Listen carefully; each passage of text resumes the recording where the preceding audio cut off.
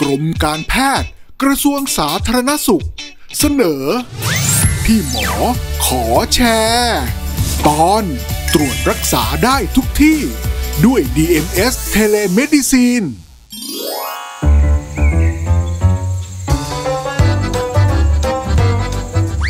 คุณหมอครับ สรุปผมเป็นโรคอะไรครับ ผื่นมันถึงขึ้นข่าวเต็มหน้าผมไปหมดแล้ว อย่างนี้เนี่ยครับ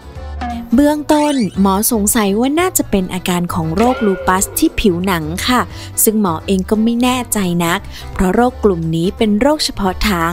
ต้องให้คุณหมอที่โรงพยาบาลศูนย์ในจังหวัดเป็นผู้วินิจฉัย ตรวจรักษาและติดตามอาการต่อเนื่องเป็นระยะนะคะ โอ้ย ถ้าต้องไปถึงตัวจังหวัดเนี่ย ผมคงไปไม่ไหวหรอกครับ แค่จะมาที่โรงพยาบาลนี่ยังลำบากเลย ต้องปั่นจักรยานมาเป็น 10 กิโลเลยนะ ถ้าต้องไปถึงในเมืองนี่ก็ไม่รู้ว่ากี่วันจะถึงล่ะครับ แล้วคนไข้พอจะมีญาติหรือใครที่พอจะไปส่ง หรือขึ้นรถโดยสารไปได้บ้างไหมคะ อืม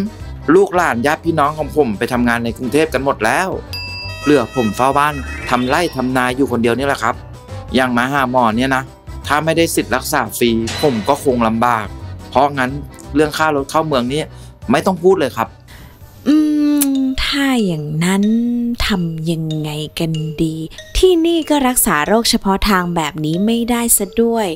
หรือถึงวินิจฉัยและได้รับการรักษาแล้ว การติดตามอาการต่อเนื่อง คนไข้ก็ต้องลำบากเดินทางอีกหลายครั้งเลยล่ะค่ะ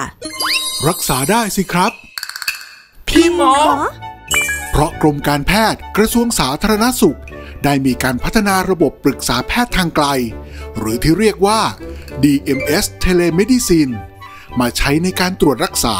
วินิจฉัย และให้คำแนะนำการปฏิบัติตัวของผู้ป่วย ซึ่งเป็นระบบออนไลน์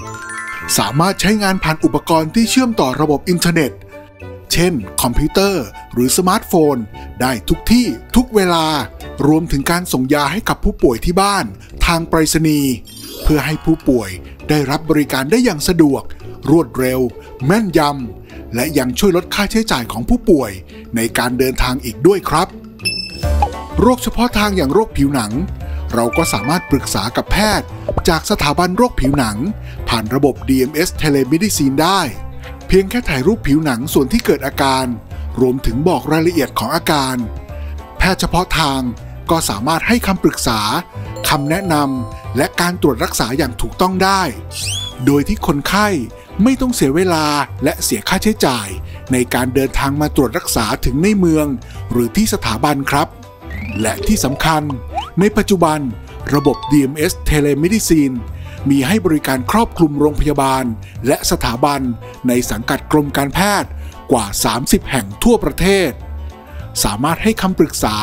และการบริการตรวจรักษาโรคเฉพาะทางต่างๆ ได้อย่างครอบคลุมและทั่วถึงมากยิ่งขึ้น ซึ่งในปี 2565 ที่ผ่านมา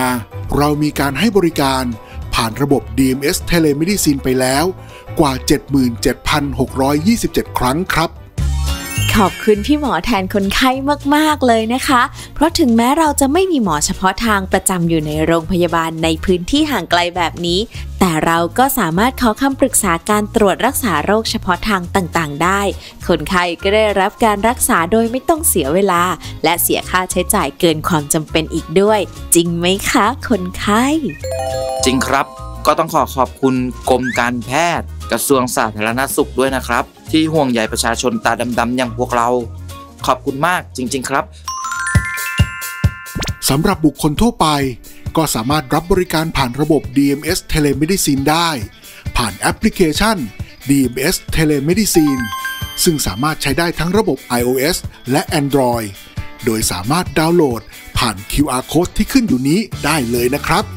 กรมการแพทย์ยินดีให้บริการครับ ด้วยความปรารถนาดีจาก กรมการแพทย์กระทรวงสาธารณสุขทำดีที่สุดเพื่อทุกชีวิต